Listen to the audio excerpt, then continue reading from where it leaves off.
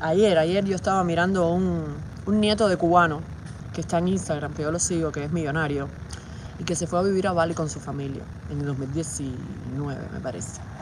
Él, yo lo sigo porque da tips de taxes, ¿no? De, de, cómo hacer mejor los taxes, cómo organizar tus empresas, cómo... Y como yo sí pienso ser millonario, pues me gusta ver cómo organizan sus dineros y sus empresas y el trust y todas esas cosas los millonarios, ¿no? Y la verdad es que lo sé porque es padre de familia, porque es muy inteligente.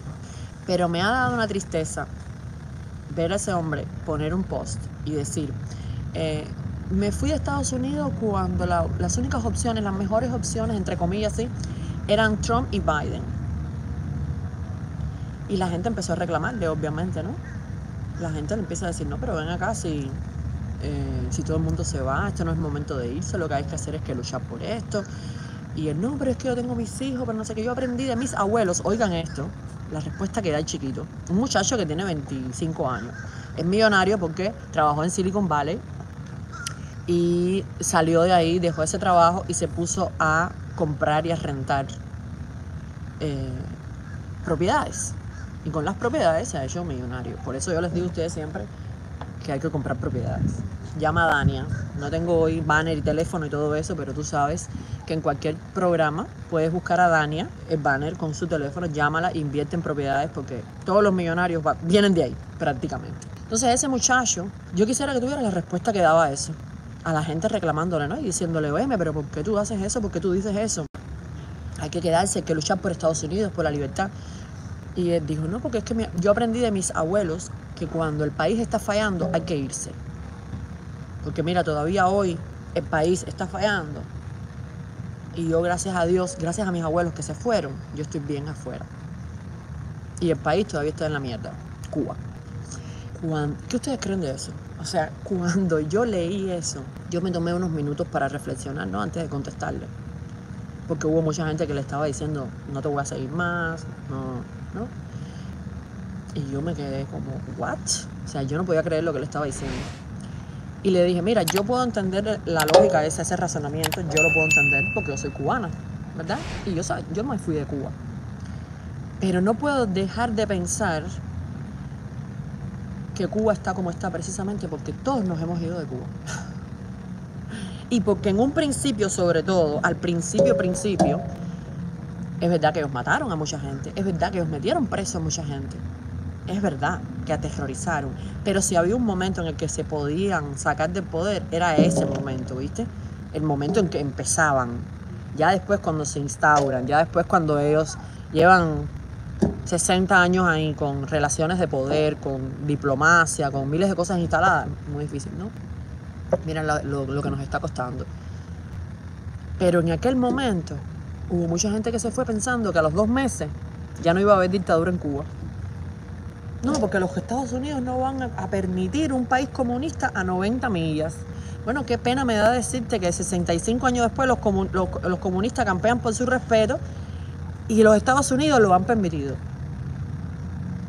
Dime tú, uno no puede confiarle su país a otro, a otra, a otro país, o sea, a otro ejército, a otra persona, a otro. No, tus problemas tú no los puedes poner a resolverlos por otra persona.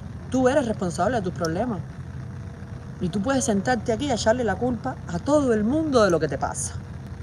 Y a quejarte de lo malo que es todo el mundo. Pero es usted el que tiene que resolver su situación. No soy yo, no es Pepe Cojo, no es Estados Unidos, no es nadie quien te tiene que resolver tu situación. Ni la culpable o el culpable de tu situación. Sabemos que la dictadura, por supuesto, es culpable. Pero es culpable hasta un punto hay una parte de responsabilidad que nos toca a todos nosotros. Entonces, me parece que ese, ese consejo de váyanse es un grave error, porque además se lo dije a él, le dije, mira, esto no se trata solamente de una carrera, de una competencia entre dos presidentes. Eso es un error. Esto no es entre dos partidos, demócratas y republicanos. Eso es un error. Se está librando una batalla en el mundo entero. Entre el bien y el mal. Y si gana el mal, ya no va a haber más nada que hacer. Ni tú en Bali vas a estar safe con tus niños, porque dices, no, tengo que salvar a mis niños. Bueno, tú no vas a estar safe con tus niños ni en Bali ni en ninguna parte. Eso es un hecho. Porque si el comunismo llega a los Estados Unidos, que ya lo tenemos aquí, está luchando con uñas y dientes por quedarse. Si llega a los Estados Unidos y tú no has hecho nada, vaya, por lo menos un post, una denuncia, un, un, un decirle a tu amigo, a tu vecino, vota por algo, lo que va a pasar aquí es que no va a haber dónde nos vamos a meter, porque no va a haber país para donde te puedas meter, porque el mundo entero va a estar dominado ya por el comunismo entonces, que es lo que están buscando ellos, dominar el mundo. Y lamentablemente vemos a gente arrogante y gilipollas muchas veces pensar, ay sí, porque la población, porque hay que reducirla, porque saben mejor que uno lo que le conviene a uno. Desde Bill Gates hasta Soros. Tienen todos la solución a nuestros problemas. Deja, no me ayudes. Nadie te lo ha pedido. Nadie, por eso es importante no pedirle ayuda a nadie. A ver, tú pides ayuda, ¿no? A tu familia, a tus amigos, tú pides ayuda. Pero es muy importante que tú no le des a nadie el poder de ser el responsable de tu vida y de tus, eh, y de tus problemas y de tus soluciones. No, no, no, no, no, no. Deja, no me ayudes. Porque están todos montados en ese tren y en la vida real lo que están haciendo es tratando de destruir el sistema libertario que hay en los Estados Unidos. Ese, eso es lo que está pasando ahora mismo. Y si se destruye eso en Estados Unidos, ya, apaga y vámonos.